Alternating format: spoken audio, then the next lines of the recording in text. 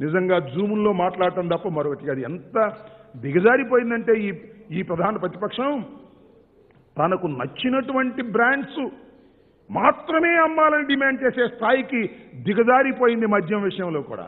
మద్యపాన నిషేధం కోసం ప్రయత్నం చేస్తున్నటువంటి ఈ ప్రభుత్వం మీద మాకు ఫలానా బ్రాండ్ కావాలి అదే అమ్మాలి. ఇంకోటి అమ్మడానికి వీల్లేదు అనేటువంటి దశకు దిగజారిపోయినటువంటి ప్రధాన ప్రతిపక్షం నిజంగా ప్రధాన ప్రతిపక్షం లేదు. విఫలమైనటువంటి ప్రధాన ప్రతిపక్షాన్ని సఫలమవుతున్నట్టుగా పత్రికలు చూపిస్తున్నాయి తప్ప హైదరాబాదు కదలకోకుండా హైదరాబాద్ నుంచి కదలకోకుండా జూమ్ వదలకోకుండా బాబు కొడుకులు ఇద్దరు రాష్ట్రం రాకోకుండా ఏదేదో వింత పోకల్లో జూముల్లో విమర్శలు చేస్తే ప్రజలు నమ్మరు మీకు ధైర్యం ఉంటే వచ్చి ప్రజల మధ్యన ప్రతిపక్షం ఉండాలి తప్ప హైదరాబాద్లో ఉండి ప్రయత్నం చేసే నివాసం కూడా ఉండడానికి ఎందుకు భయపడుతున్నారో నాకు అర్థం కానటువంటి దౌర్భాగ్యమైన ప్రతిపక్ష నాయకుల మాటలు దయచేసి ప్రజలు నమ్మవద్దని సందర్భంగా చెప్పదలుచుకున్నాను. ఇంకా?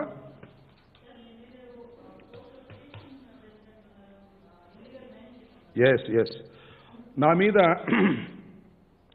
ఒక ఇల్లీగల్ మైనింగు శాసనసభ్యుడిగా నేను చేస్తున్నానని నా మీద మొన్న ఇరవై ఆరవ తారీఖున ఒక ప్రయ ప్రజా ప్రయోజనాల వ్యాజ్యాన్ని ఫైల్ చేయటం జరిగింది.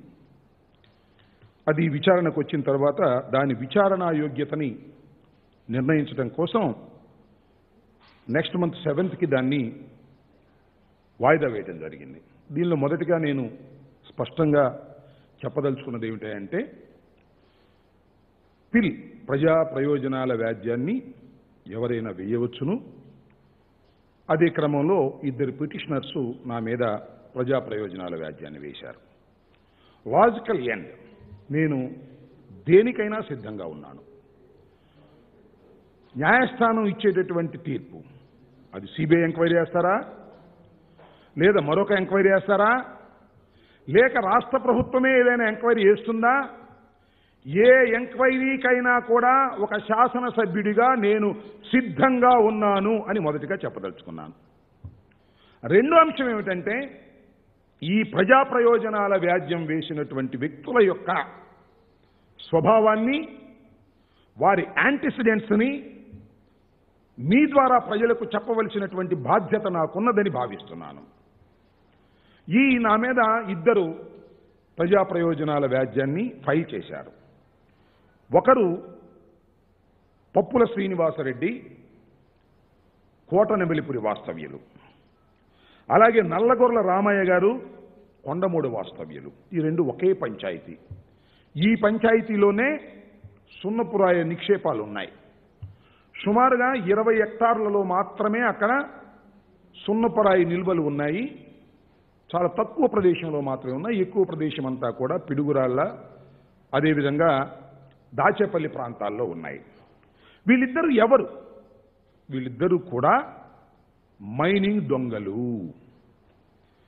ఏ రాంబాబు గారు మీ మీద పిటిషన్ వేశారు కాబట్టి వారు మైనింగ్ దొంగలు అంటున్నారా అంటే ఒక విషయాన్ని ఈ సందర్భంగా నేను మీకు చెప్పాలి. గత సంవత్సరం పదిహేడు పది రెండు వేల పంతొమ్మిదవ తారీఖున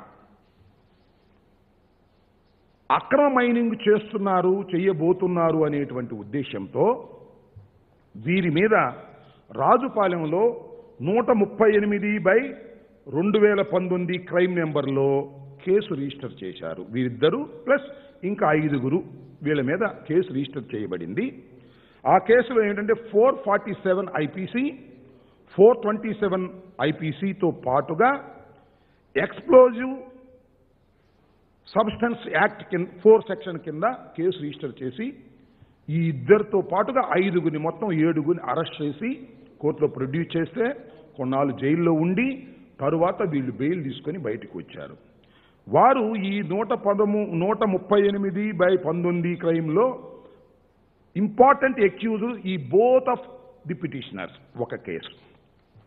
రెండవది మొన్న నాలుగు ఎనిమిది ఆగస్టు నాలుగవ తారీఖున నూట పదహారు బై రెండు వేల ఇరవై అనే కేసును రాజుపాలెంలోనే అక్రమ మైనింగ్ కోసం పాల్పడుతున్నారని దౌర్జన్యం చేస్తున్నారని మరొక కేసు రిజిస్టర్ అయింది. ఈ రెండు కేసులు వారి మీద రిజిస్టర్ అయిన తరువాత వారు పోలీసుల్ని అదేవిధంగా అక్కడ ఉన్నటువంటి మైనింగ్ అధికారుల్ని బ్లాక్మెయిల్ చేయాలనే ఉద్దేశంతో నన్ను బెదిరించాలనే ఉద్దేశంతో ఒక దురుద్దేశంతో మాత్రమే ఈ పిల్లుని వేశారు తప్ప అక్కడ అక్రమ్ మైనింగ్ జరుగుతున్న మాట అవాస్తవం. అక్రమ్ మైనింగ్కి పాల్పడడానికి ప్రయత్నం చేసిన వీరి మీద కేసులు పెట్టడం జరిగింది. ఆ కేసు నుంచి భయపడి బయటకు రాలేక మా మీద ఈ రకంగా లీగల్గా కో కేసు వేస్తే ఏదో బదురు బెదురుతామనే ఉద్దేశంతో వేసినటువంటి అంశం తప్ప మరొకటి కాదు. నెంబర్ టూ పప్పుల శ్రీనివాసరెడ్డి కోట నెమలిపురి ఈయన వైసీపీకి సంబంధించినటువంటి వ్యక్తి సానుభూతిపరుడు మాత్రమే. నెంబర్ టూ నల్లగొర్ల రామయ్య కొండమోడు ఇతను టీడీపీకి సంబంధించినటువంటి వ్యక్తి. వైసీపీకి సంబంధించినటువంటి వ్యక్తి కాదు. వీళ్ళు ఒకరు టీడీపీ ఒకరు వైసీపీ ఇద్దరూ కలిసి అక్కడ దౌర్జన్యంగా మైనింగ్ చేయాలని గత కొంతకాలంగా ప్రయత్నం చేస్తుంటే పోలీసులు వారిని అడ్డుకుంటున్నారు కాబట్టి వారిని నేను సపోర్ట్ చేయటం లేదు కాబట్టి నా మీద ఈ కేసుని కావాలని పెట్టే ప్రయత్నం చేశారు. అంతకు ముందు కూడా అనేక పిటిషన్లు పెట్టారు. దాని మీద ఎంక్వైరీలు జరిగినాయి. ఆ ఎంక్వైరీలో ఈ పిటిషన్లన్నీ అద్భుతమైనటువంటి కథనాలని ప్రభుత్వం వైపు నుంచి అధికారులు నిర్ణయించిన తరువాత ఈ కేసులకు భయపడి వారు కేసు వేసేటటువంటి ప్రయత్నం చేశారు తప్ప మరొకటి కాదు. నేను చాలా స్పష్టంగా మీ ద్వారా ఆంధ్ర రాష్ట్ర ప్రజానీకానికి తెలియపరుస్తున్నాను. నా నియోజకవర్గంలో ఏ విధమైనటువంటి అన్యాయాలు అక్రమాలు జరగడానికి వీల్లేదు. నెంబర్ వన్ నేను ఒక సంవత్సరం మూడు మాసాల నుంచి ఈ రాష్ట్రంలో అధికారంలోకి వచ్చిన దగ్గర నుంచి శాసనసభ్యుడిగా నేను నియోజకవర్గంలో పనిచేస్తున్నాను. నేను మీరు కనుక్కోండి. ఎవరైనా కనుక్కోండి మా నియోజకవర్గంలో. నా ప్రవర్తన ఏమిటి?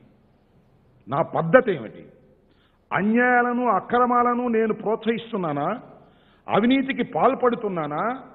కనుక్కుంటే తెలుస్తుంది. వాస్తవాలు ఎక్కడా కూడా బయటకు రాకోకుండా ఉండవు. నేను అక్రమాలు చేస్తేనో అన్యాయం చేస్తేనో అవినీతికి పాల్పడితేనో కోట్ల రూపాయలు దోచుకుంటేనో ఖచ్చితంగా బయటకు వస్తాయి. కాబట్టి నేను మరొకసారి చెప్తున్నాను జగన్మోహన్ రెడ్డి గారి ప్రభుత్వం వచ్చిన దగ్గర నుంచి కూడా ఒక నిబద్ధతతో పరిపాలన చేయాలని అవినీతిని అంతం చేయాలని ప్రజా ధనాన్ని దుర్వినియోగం కాకోకుండా ఉండాలని జగన్మోహన్ రెడ్డి గారు మాకు ఆదేశించారు. ఆ ఆదేశాల ప్రకారమే మేము నడుచుకుంటున్నాం ఏ విధమైనటువంటి అన్యాయము అక్రమం అదేవిధంగా ప్రజాధనాన్ని దోచుకోవడానికి మేము సిద్ధంగా లేము. ఇలాంటి పిచ్చి పిచ్చి ఆరోపణలకి నిరాధారమైన ఆరోపణలకి బెదిరిపోయేటటువంటి పిరికి వాళ్ళం కూడా కాదని ఈ సందర్భంగా నేను చాలా స్పష్టంగా చెప్పదలుచుకున్నా. చాలా ఎల్లో మీడియాకు సంబంధించిన వారు నాకు వ్యతిరేకంగా ఉన్నవారు వైఎస్ఆర్ కాంగ్రెస్ పార్టీ అంటే గిట్టని వారు ఒక మీడియా ఒక సెక్షన్ ఆఫ్ మీడియా మా మీద దుష్ప్రచారం చేస్తూ ఉన్నది. హైకోర్టు బోన్లో అంబటి రాంబాబు నిలబడ్డాడు.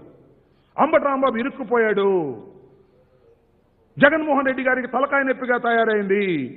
అంబటి రాంబాబు దొరికిపోయిన దొంగ ఇలాంటి పిచ్చి పిచ్చి వార్తలన్నీ వేస్తున్నారు వేసుకొనివ్వండి ఈ సువిశాల ప్రజాస్వామ్య దేశంలో ఎవరేదైనా చేసుకోవచ్చు. కానీ నిబద్ధతతో చెప్తున్నాం ఆత్మవిశ్వాసంతో చెప్తున్నాం.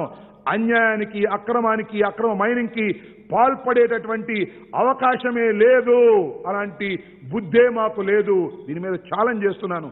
ఎవరైతే నా మీద కక్ష గట్టి అన్పాపులర్ చేయాలని అప్రతిష్ట పాలు చేయాలని ఎవరైతే ప్రయత్నం చేస్తున్నారో వారి మీద చట్ట ప్రకారంగా చర్యలు తీసుకుంటాం. అవసరమైతే పరువు నష్టం దావా కూడా వెళతాం. దీనిలో ఏ విధంగానూ వెనక్కి వెళ్ళే ప్రశ్న లేదు. మీ అందరికీ తెలుసు ఆంధ్ర రాష్ట్ర ప్రజానీకానికి తెలుసు. వైఎస్ఆర్ మరణం వెంటనే ఈ పార్టీలోకి వచ్చి అనేక ఆటుపోట్లకు గురి అయినటువంటి వ్యక్తిని ఇలాంటి ఉడత ఊపులకు భయపడే వ్యక్తిని కాదని మనవి చేస్తున్నాను. ఇలాంటి విచారణలకు ఇలాంటి పిటిషన్కి ఫాల్స్ పిటిషన్స్కి భయపడే ప్రశ్నే లేదు. వీటిని ధైర్యంగా ఎదుర్కొంటాం. మా పార్టీ అధిష్టాన వర్గం కూడా దీని మీద దృష్టి పెట్టింది. తప్పనిసరిగా ఎవరైతే మమ్మల్ని అన్పాపులర్ చేయాలని ప్రయత్నం చేస్తున్నారో వారి మీద కఠిన చర్యలు కూడా తీసుకుంటాం అని సందర్భంగా చెప్పదలుచుకున్నాను.